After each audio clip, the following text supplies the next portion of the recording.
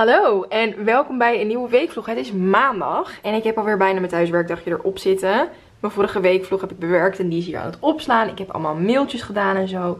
En nu ga ik eventjes naar de etels, want ik moet iets kopen voor een video waarschijnlijk morgen ga filmen. En het wordt een beetje een spannende video voor mij om op te nemen. Maar ik heb er echt heel erg veel zin in. En ik heb gewoon echt weer het idee dat ik zoveel leuke ideeën heb voor mijn video's die altijd op vrijdagen online komen. En daar ben ik echt heel blij mee. En ik ben super gemotiveerd. Dus we beginnen de week met good vibes. Ik zal eventjes mijn planning ook laten zien. Dit was tot nu toe mijn planning voor vandaag. En ook alvast een beetje voor morgen. Maar aangezien ik het altijd laat zien als het nog best wel rustig is.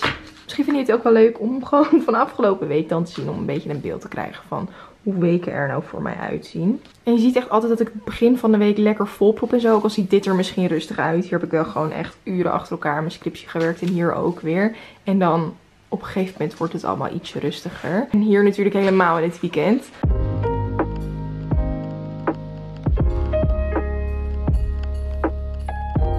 Nou, missie helaas onsuccesvol. Forever. Als ik naar een fysieke winkel ga, zoals de supermarkt, specifiek voor iets. Oh, dat is het weg. Nu helaas ook. Dus dan ga ik maar even online bestellen. En dan komt het als ook morgen binnen. Dus videoplanning loopt nog steeds op rolletjes. En mijn weekvlogje is ook klaar. Dus die ga ik even inplannen op YouTube. En dan nog eventjes de thumbnail maken. En dan staat het ook gewoon lekker op tijd klaar voor morgen.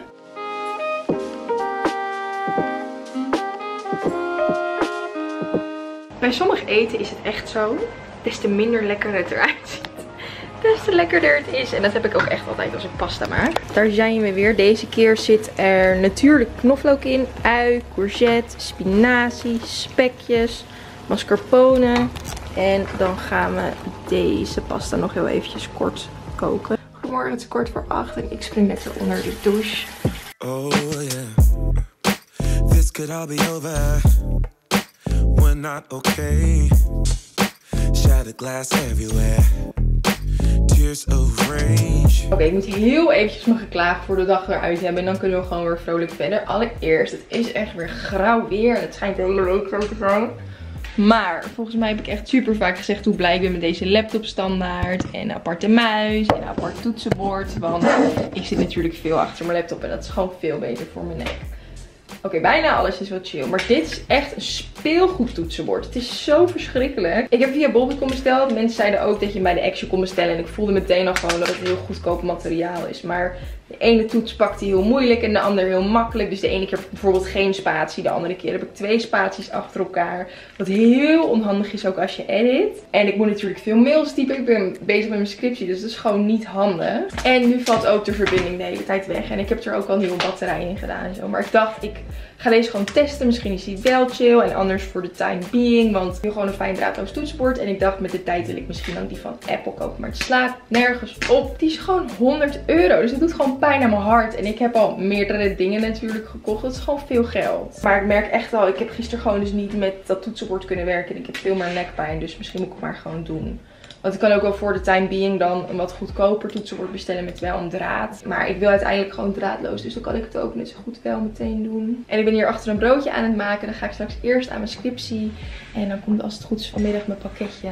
Waardoor ik kan filmen. En dan hoop ik dat mijn video niet al te grauw wordt door dit weer. Maar het schijnt de hele week zo te zijn. Dus we gaan gewoon roeien met de riemen die we hebben.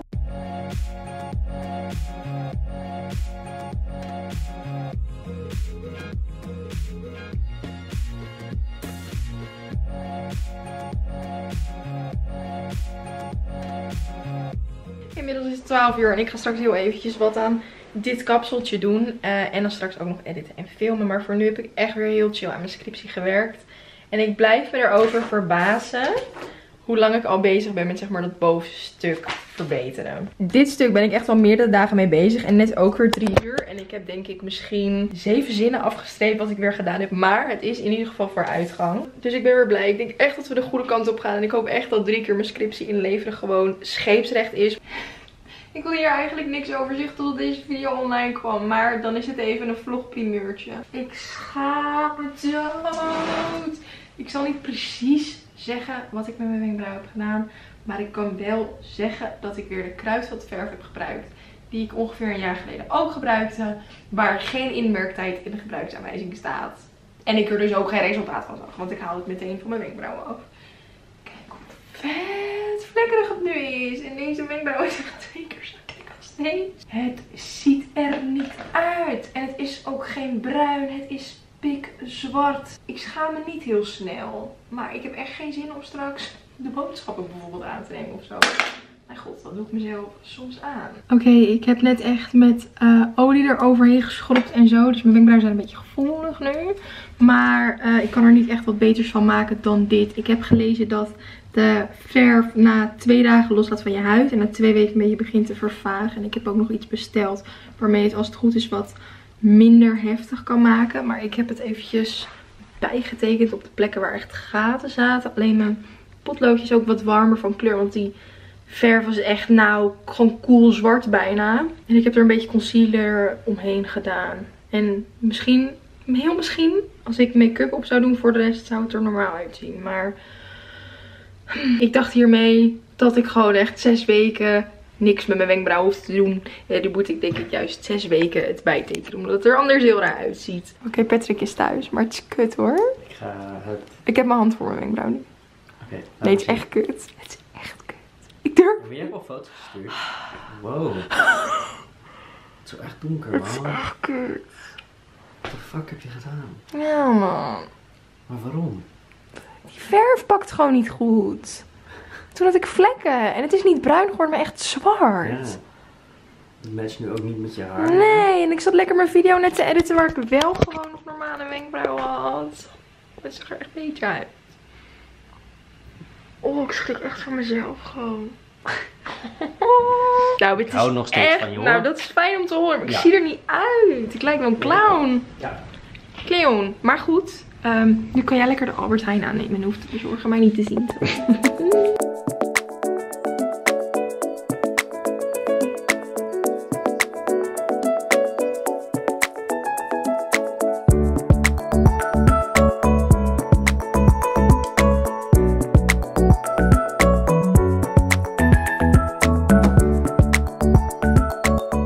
even een stevig ontbijtje, zodat we er weer flink tegenaan kunnen vandaag. Ik denk dat ik inmiddels een beetje aan het wennen ben aan mijn wenkbrauwen, maar ik heb wel dit binnengekregen, waardoor ik hoop dat het nog wat minder wordt. En ik heb een peeling gedaan, maar dat had geen effect, maar ik dacht ik probeer gewoon dingen. En ik heb een toetsenbord binnen en dit vind ik altijd heel lekker klinken. Dus ik dacht ik leg het even vast.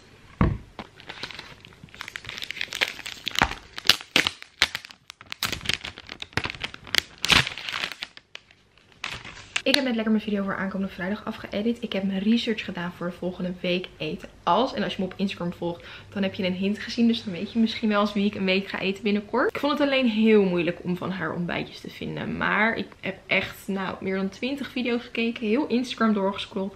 En op zich kan ik er wel een week mee vullen nu, denk ik. Dus dat is leuk. Dat ga ik binnenkort weer doen. Het is echt weer super lekker weer. Dus ik wil zo eigenlijk eventjes de deur uit. Ik moet nog wat pakketjes retourneren. Ik moet nog eventjes vuilnis weggooien. Maar ik ga eerst eventjes die toetsenbord testen. Ik ga zo eventjes de deur uit om pakketjes te retourneren. Maar ik dacht, ik ga nog even mijn outfit laten zien. Want ik vind het echt een beetje lenteachtig voor mij doen. Want ik draag echt heel vaak altijd zwart of heel snel. Maar ik heb mijn blouse aan van Naked. En mijn broek komt daar ook vandaan. En dan mijn witte All-Stars. En ik vind het echt vet gezellig. En die spiegel laat ik nu hier staan, want ik vind het handig. Gewoon om mijn outfit te bekijken. En laat me weten wat jullie ervan vinden. Maar ik vind het licht ook heel fijn vallen voor aanshots. Want eerst stond de spiegel hier. En dan heb je licht van de zijkant. En dan ging ik hem altijd zo neerzetten. Maar ja. En nu staat dan eventjes de ringlamp hiervoor. Maar nu is het hier dus echt super koud. Ga ik dit nou weer op beeld laten zien? Moeten we die muur dan misschien in een kleurtje verven? Of misschien lijstjes ophangen? Of misschien kan daar nog een soort leuk kastje of plankjes? Of als jullie tips hebben, let me know. Hi, ik wil graag een afspraak maken voor morgen als het kan. Ik heb even een afspraak gemaakt om morgen mijn nagels bij te laten werken. Want die zijn weer flink uitgegroeid.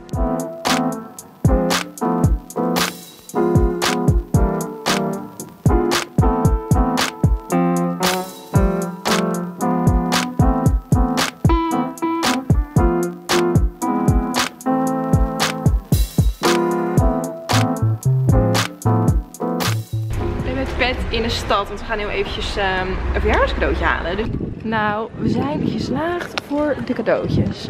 Next stop is Karwei. Hmm, we zijn bij de verfjes aan het kijken. Waarvoor zou dat nou zijn? de karwei heeft altijd zulke leuke woonaccessoires ook. Hoe leuk is dit kussen? Of die? Oké, we willen binnenkort deze lampjes weghalen. Dus ik waarschijnlijk de laatste avond met de lampjes. En deze week wel Temptation kijken. Vandaag heb ik eindelijk weer een beetje menselijk contact. En mag ik mijn werk en scriptiegrot uit van mezelf. Ik heb vanmorgen wel even aan mijn scriptie gewerkt en ik heb ook opgeruimd en schoongemaakt. Maar ik heb mijn haar in een staartje, want ik ga straks bij Romy achter op de scooter naar de nagelstudio. Normaal ga ik met Patrick's zusje. Oké, eerst ging ik met Romy, maar die is ermee gestopt. Toen ging ik met Patrick's zusje, maar die kan helaas vandaag niet. Maar Romy was vrij, dus we gaan eerst eventjes gezellig lunchen of in ieder geval wat eten of drinken. En dan ben ik als het goed is tegen avond aan thuis en dan komt Patrick's moeder hier eten, dus dat is heel gezellig. Ik twijfel alleen een beetje over de look van vandaag. Weet je, ik kan ook gewoon een andere blazer aandoen en dan is het gefixt. Ik heb mijn blazer aan van ASOS van de Bershka. Mijn naked hemdje, naked broek natuurlijk weer. En mijn Dr. Martens. Maar ik, ik weet het niet zo goed. Ik kan mijn witte All-Stars eronder aandoen. Maar ik weet niet hoe koud het is op de scooter. Dus misschien moet ik deze gewoon aandoen. Maar deze draag ik wel echt super vaak. En valt jullie iets op? De kerstlampjes zijn van de balken af. En het was echt veel heftiger om te doen dan wat ik had verwacht. Want er zat er best wel veel omheen gewikkeld. Ik heb echt de hele tijd op een stoel gestaan en hem ietsje verder geschoven. En toen nog weer daar afgewikkeld. En op deze dingen zaten echt hele gekke kruisingen en zo. Maar het staat echt zo heerlijk opgeruimd. Het was wel gezellig in de avond. Maar ik denk dat het misschien een beter idee is dat mochten we dat gewoon weer rond kerst willen. Of als het weer wat grauwer weer is de hele tijd. Misschien moeten we dan eventjes um, verlichting vinden met een wit snoer. Want het staat natuurlijk een stuk minder rommelig. Maar ik ben heel blij dat ik het eventjes heb gedaan. Nou, hieronder zit als het goed is een broodje met carpaccio. En we hebben natuurlijk frietjes the side en gemberthee. Balans.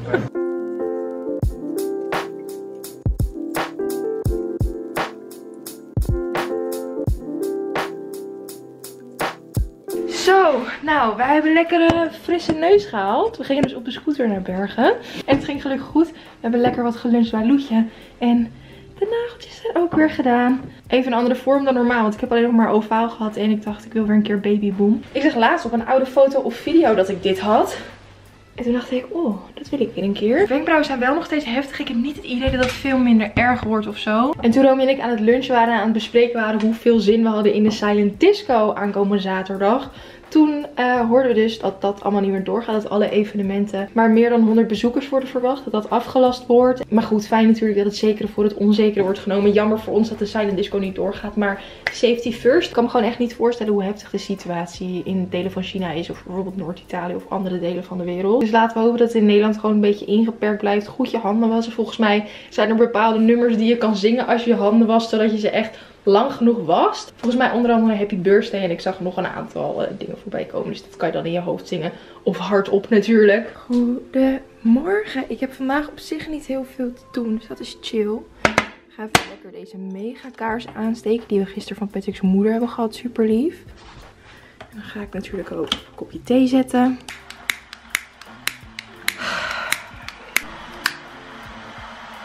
En dan ga ik zo meteen een beetje aan mijn scriptie werken en deze vlog alvast een beetje editen. Misschien herinneren jullie nog wel een vlog dat we Black Stories gingen doen bij Ilan en Romy. En nu hebben wij dus ook een uh, versie ervan gekocht. Oké, ik heb echt niks aan mijn uiterlijk gedaan vandaag. Maar je hebt dus echt heel veel versies van Black Stories. En je hebt ook White Stories met geesten blijkbaar. Green Stories. Wil jij als eerst of ik? Nee, ik wil als eerst. Vragen aan mij. Uh, ja. Oh, oké er staat hier dus een kort verhaaltje wat ik voor moet lezen. En dan moet Patrick raden wat er is gebeurd. Dit moet hij raden. En het verhaal is... Als Achim chocoladeijs gekozen had, was zijn broer nu nog in leven. Holy shit. Ja, het is echt sneu. Uh, heeft het weer er iets mee te maken? Nee. Zijn er meer dan één mensen extra in het spel? Um, nee. Is het broertje vermoord? Nee is een ongelukje. Ja.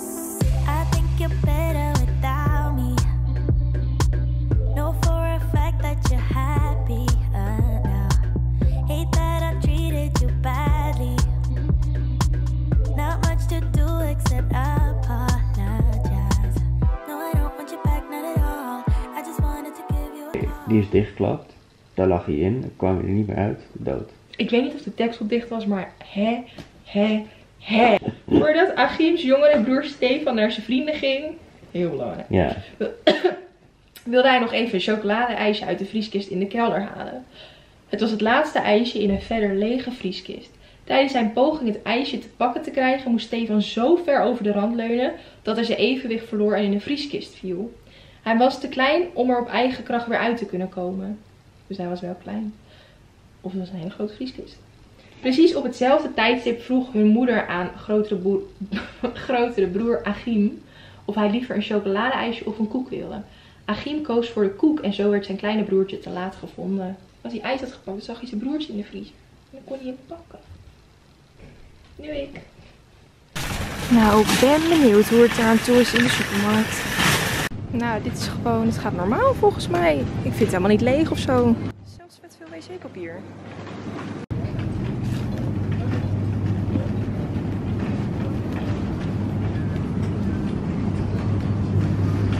Nou, op één ding na hebben we gewoon alles. Maar dat zijn we wel gewend. Dat we niet alles kunnen Oké, nou zoals het goed dus inmiddels allemaal weten is dat er echt wordt geadviseerd om zoveel mogelijk thuis te blijven in verband met natuurlijk het coronavirus. En ik ga niet doen alsof ik er alles vanaf weet, want ik leer ook elke dag weer nieuwe dingen. Maar ik wilde gewoon nog wel heel eventjes in mijn vlog benadrukken dat ik het echt heel erg belangrijk vind dat mocht je de mogelijkheid hebben om zoveel mogelijk thuis te blijven, blijf dan vooral zoveel mogelijk thuis. Natuurlijk zijn er mensen die hulpbehoevend zijn. Er zijn mensen die in de zorg werken of ander werk wat door moet blijven gaan buiten de deur. Toevallig werkt Patrick nu deze week ook thuis, dus zijn wij een soort van kantoorgenootjes. Natuurlijk zijn we gewoon thuis. Ik denk dat we allemaal wel weten, ook al kijken er mensen die niet tot de risicogroep behoren, dat je gewoon mensen die wel tot die risicogroep behoren. Het kan besmetten met het coronavirus. Je kan het virus ook bij je dragen als je geen symptomen vertoont. Gisteren had ik op Instagram dit lijstje gezet met een aantal dingen die je kan doen mocht je je een beetje vervelen. Omdat je nu wat meer thuis zit. Zoals een Spotify playlist maken. Dat vind ik altijd heel erg leuk om te doen. Of bakken. Dat ga ik denk ik deze week lekker doen. Natuurlijk gewoon allemaal om vooral de verspreiding in te perken. En des te meer we thuis blijven zitten, des te sneller het hopelijk allemaal verholpen is. En dat we hopelijk weer leuke dingen kunnen doen. Zoals naar de bioscoop gaan of